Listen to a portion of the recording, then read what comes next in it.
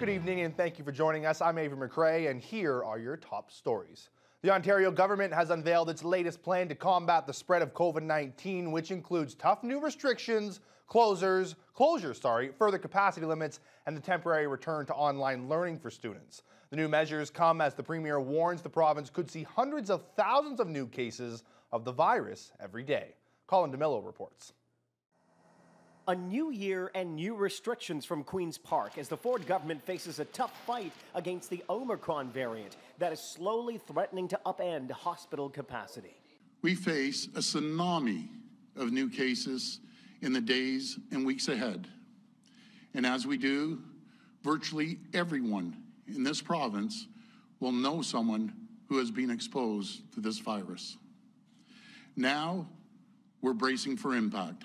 The government says it is expecting hundreds of thousands of new cases on a daily basis over the next few weeks, and at least 1% of all of those cases will end up in hospital.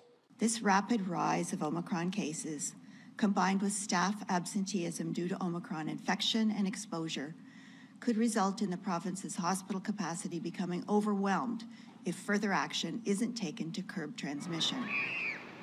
Just days after reassuring parents that in person learning would resume this week, the Ford government walked back that promise. Schools will now be shut down until at least January 17th, the government says. Students will be moved to online learning, while healthcare and frontline workers would be eligible for free emergency childcare. I know this isn't the news anyone wants to hear, but with the new variant, the ground is shifting every single day. The level of absenteeism, we're seeing in other sectors tells us with absolute certainty that operating schools, ensuring teachers are on the job and not homesick, will be a challenge we cannot overcome in the short term. Next, wide swaths of the economy are returning to lockdown for 21 days starting Wednesday, January 5th. Restaurants and bars will be closed for indoor dining. Indoor sport and recreational facilities will be shut down. Indoor concert venues, theaters, and cinemas will be closed. Indoor meeting and event spaces will be closed. Museums, zoos, and water parks will also be shut down. As well, social gatherings will be limited indoors to a maximum of five people. Indoor religious gatherings, weddings, funerals will be restricted to 50%.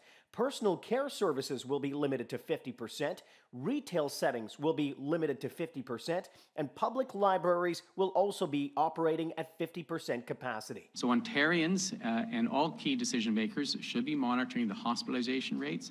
Uh, uh, that will ascend fairly rapidly over the coming weeks.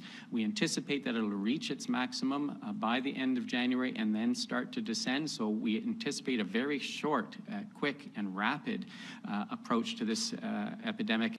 But some are now accusing the Premier of landing the province in another lockdown by not taking steps earlier. We heard from doctors in the science table, I think it was December the 16th, suggesting that some kind of so called circuit breaker was required.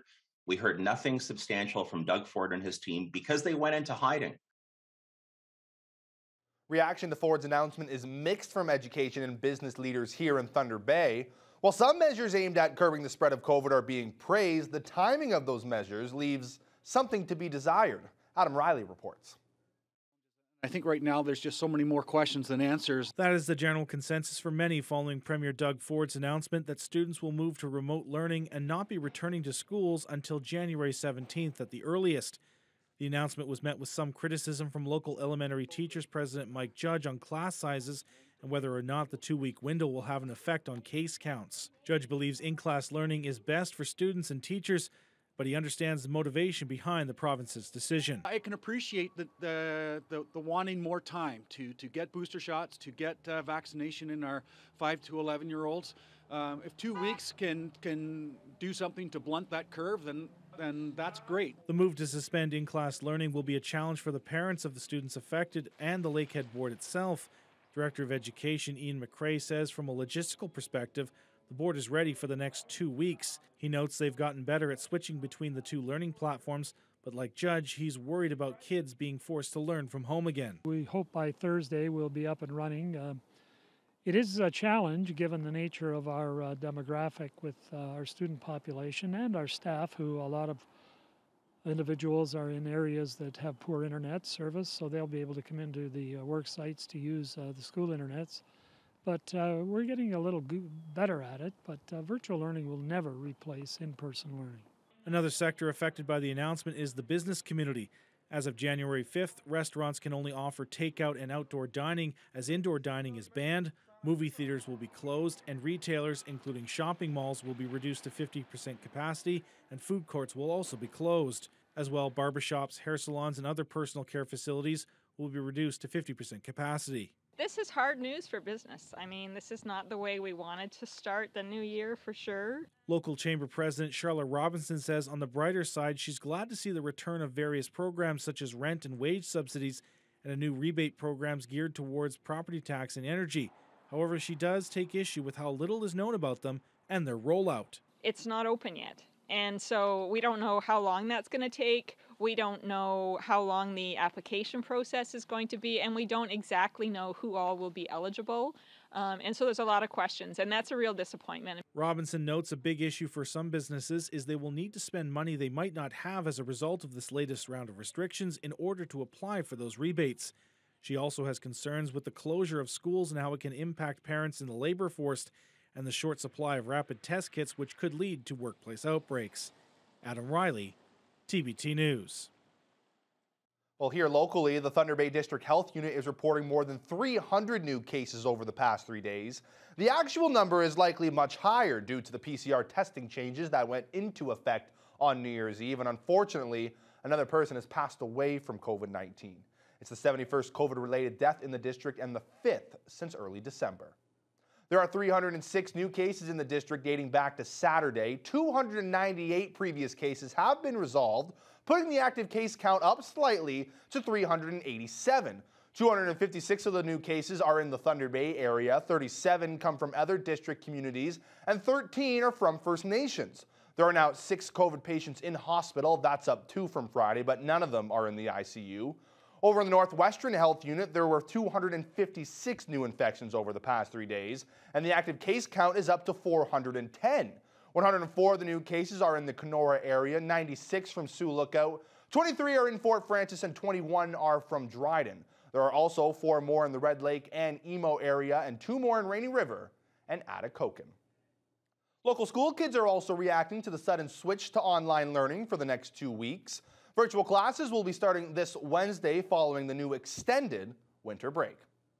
Officials at Loch Lomond decided to change their plans and open the ski hill today and tomorrow after the province added a couple of days to the post Christmas break. And kids of all ages were flocking to the slopes to go skiing and snowboarding. The news about online learning was confirmed by the Ford government just before lunchtime today, and we spoke to some of the high school and, and elementary students at the ski hill to get their opinions on schools remaining closed for the next couple of weeks. Well, I actually kind of like it because I don't like getting on the school bus and having to wait out in this cold weather. I don't really like online school, but I mean, I'll do it. What are your uh, opinions on school being online for the next few weeks? I don't like it. I don't really like it. Um, rather be in school. I'm not very excited about that. No. no. I don't like it because then you have to sit in a screen all day, in front of a screen. I like in person because then I'm with all my friends. Some longtime local politicians are reflecting on the life and career of former MP and federal cabinet member Joe Comuzzi, who passed away on New Year's Eve at the age of 88. Ken Boshcoff was the city's mayor and a then fellow MP during Comuzzi's 20 years in Parliament, and Michael Gravelle was Comuzzi's special assistant in the early 1990s before running for office himself. Today, they recalled fond memories of both the politician and the person.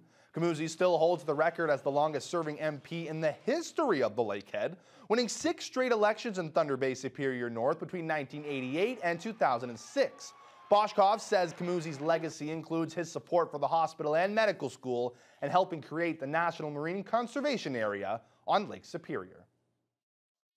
Well, there's no doubt that Joe's confidence and his connectivity to both the community in both those fashions here and in Ottawa uh, certainly allowed him to achieve a lot of things and to uh, to keep his constituency happy as well as uh, the people that he had to work with in, in Ottawa across all parties. Those of us who love Joe a great deal are very saddened by his uh, his loss. He was a remarkable man, and, and this is truly the end of an era. I mean, Joe was a very special kind of guy. Whatever he put his mind to, he achieved, whether it was uh, the legal profession, business, or his long tenure in politics. He was very successful and, uh, and did it his, his own way. That's the one thing about Joe that I think stood out. Joe did things his way, much like the Frank Sinatra song. And uh, he was highly principled, stood by them. We didn't always agree on that, and a lot of people didn't always agree with him, but he felt very strongly about that. So I always admired him for his strong principles. Well, it took just 67 minutes into 2022 for Thunder Bay to hear the cry of the city's first newborn baby of the year at the Thunder Bay Regional Health Sciences Center. Meet Claire Roseanne Russell, who was born at 107 in the morning on Saturday to parents Christy Peterson and Dylan Russell. With a due date of January 3rd, Claire's arrival was only a few days earlier than expected, but she was eager to be named the New Year's baby. The youngster weighed 8 pounds and 2 ounces, and the regional took to Facebook to congratulate their family with their new bundle of joy and wish them well.